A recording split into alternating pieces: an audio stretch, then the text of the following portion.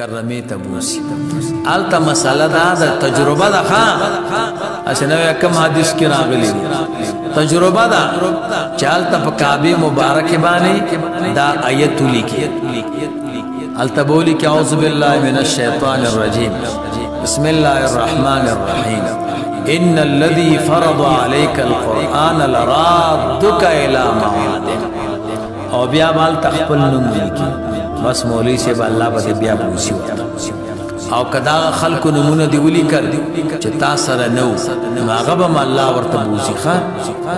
نشل تلار سم کنه مثلا ته نمونه ته اون خلک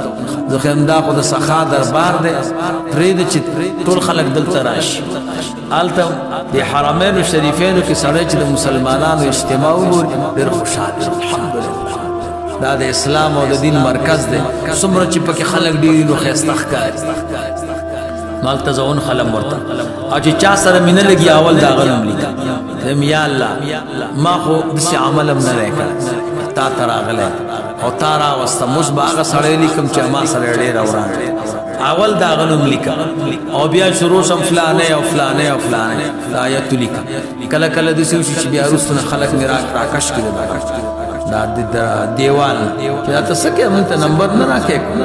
او بیا هم نه ختمي یا بل ورځ بیا ورشه سخی سړی الله بخښه چا سره چې نه لګي هغه ته دعا کوي شپې چې راپورته شي کنه چا سره مونږ لګي هغه ته دعا کوي یا الله فلانی سړي سره زمانه لګي خو ستا بنده او تا پیدا کړي خدای زمانه مخ کې دا حاجات پوره کړ رسول الله مبارک صلی الله علیه وسلم فرمای الله دو ملائکی سپیشل پیدا کړي هغه د الله په دربار کې لاس وکړ چې اے رب دا غا چاته دعا وکړه چې ور سره نه لګي خدای موږ درته دعا کو چې داغه نه مخکې دته ورته نو دا ستا دعا به یا قبليږي یا نه داغه متعلق او د ملائکو دعا خو ستا لپاره خامخا قبلي ځکه چې ملائکه الله هم دوی د پاره پیدا کړی داغه نه به مخکې ته سر کې ها مولوی سے دا مونږ او تاسو ولې مونږ کینی خراب دا دی الله تبا کې او دا داسې کې او دا هغه ته دعا کا او دعا لري زبردست شي